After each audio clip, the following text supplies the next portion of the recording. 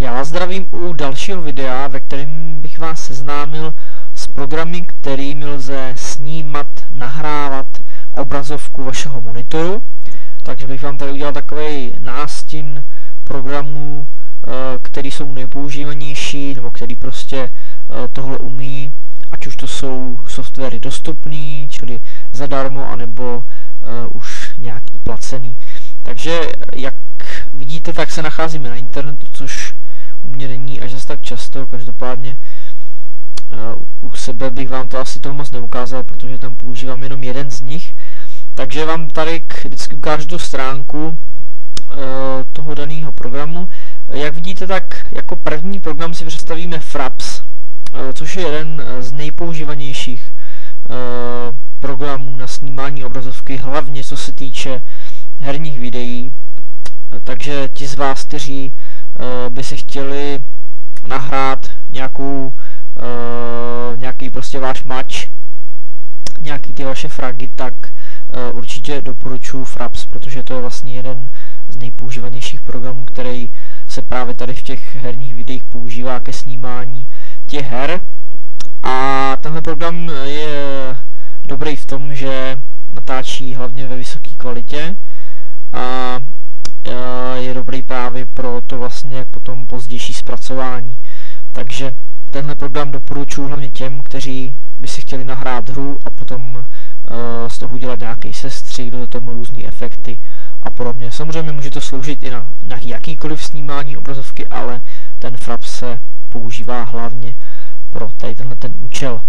Tak, uh, jinak to se týče dostupnosti, tak tohle to bohužel není software, který uh, můžete zdarma používat. Sice si můžete stáhnout nějakou trial verzi, ale je tam omezení uh, na nějakých počet dní, nebo uh, můžete snímat jenom nějakých 30 sekund, takže to je vlastně prakticky k ničemu.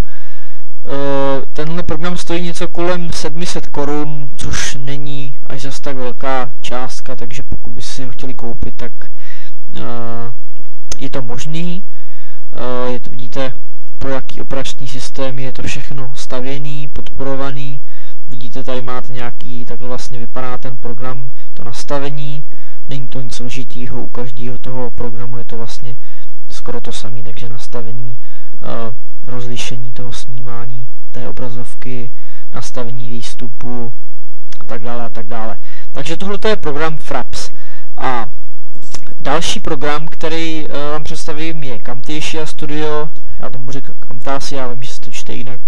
Uh, tohle je program, který vlastně používám já uh, na uh, tvorbu tady těch tutoriálů, návodů. Uh, je to super program, hlavně pro ty, kteří by chtěli právě dělat taky třeba ty návody. A tenhle program doporučím spíš třeba těm, kteří dělají uh, ty různý let's play, který, kterých je tady vlastně uh, strašně moc na tom YouTube. Takže prostě jenom nějaký uh, video, ve kterým si nahráváte hru a zároveň do toho komentujete a nemáte v plánu potom dál s tím videem něco dělat, to znamená prostě ho nějakým způsobem upravovat, efektovat a podobně. Takže na tohle je hodně vhodný. Eh, tenhle program zároveň je i eh, taková malá střižna, protože eh, vy když to video nahrajete, tak ho můžete jak naimportovat do toho samostatného programu, který vlastně právě funguje jako ta střižna, takže si to video tam můžete sestříhat, je tam možnost přidání různých přechodů, myslím si, že i nějaké jednoduché efekty, možná i texty, různý si myslím, že tam jsou i ikonky na přidání. A jak jsem říkal, tenhle ten uh, program je hodně dobrý právě na tvorbu těch návodů, protože má třeba i v sobě funkci, uh, že si můžete v určitým čase nebo v jakýmkoliv čase přiblížit to video, zoomnout, prostě udělat detail té nahrávky, takže je to vhodný právě, když chcete prostě něco vysvětlit a detailně na tom obrazu prostě něco ukázat. Takže tohleto bych doporučoval Eh, pro nějaký jednodušší zpracování, pro návody, pokud byste chtěli tvořit a tak dále. Eh, tohle je zase program, který není zadarmo, tenhle už je hodně dražší, je to samozřejmě díky tomu, že ten program má víc funkcí, je to už fakt taková střižna, má tam hodně, hodně možností, je to takový multiprogram a stojí myslím si, že něco kolem 7000. Tak, tady pomocí tohoto programu jsem nahrál snad většinu těchto tutoriálů, které tady na tomhle kanálu jsou, takže vidíte, že ta, uh, oni používají i svůj vlastní kodek pro komprimaci uh, těch videí, takže jste si všimli, když dávám ke stažení na úložu ty tutoriály, tak při té délce třeba 20 minut je ta velikost od, já nevím, 30 do 40 MB, což je samozřejmě uh, krásná, krásná velikost toho videa, zvlášť pro ty, kteří mají třeba problémy s nahráváním, s velkýma souborama, mají špatný internet a tak dále. Takže to je, to je Camtasia a teď se můžeme prohnout na ty uh, programy, které si můžete, který můžete používat zdarma. A to je Cam Studio první, tohle myslím si, že první program, který jsem, uh, kterým jsem nahrával uh, jedny z těch prvních tutoriálů. Takže je to free program, tady o tomhle asi moc ani říkat nebudu, tady vidíte tady jednoduché nastavení, zaznamenávat, pauznout, stopnout a tak dále, nastavení, nastavíte se tady rozlišení zase, který chcete nahrávat, výstup a tak dále. Pak další program, který je zadarmo, je uh, tady Hypercam, taky jsem pomocí něho nahrál několik těch tutoriálů, zase vidíte, to nastavení je u každého toho programů pro snímání obrazovky skoro stejný, takže vždycky je to jenom o nastavení.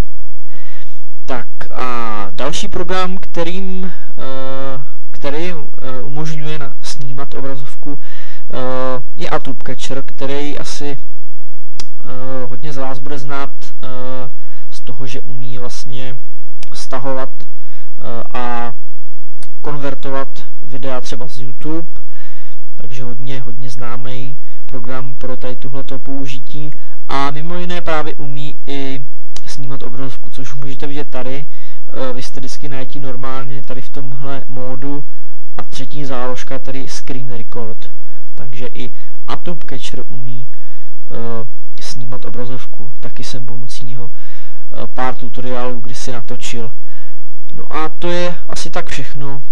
Pět uh, programů, který uh, jsem No, čtyři jsem měl, ten uh, frap jsem v životě neměl. Každopádně, pokud byste hledali vždycky nějaký návod, tak samozřejmě na YouTube najdete úplně všechno, takže pokud by vás zajímal konkrétní návod na jakýkoliv tady, v na jakýkoliv tady tenhle ten program, tak není problém si něco najít. Myslím si, že i v češtině je dost uh, tutoriálů na Fraps, tady na YouTube nebo kdekoliv na seznamu, když si to zadáte, tak uh, určitě něco najdete. Takže tohle jsou programy, na snímání obrazovky a u dalšího návodu zase někdy. Čau.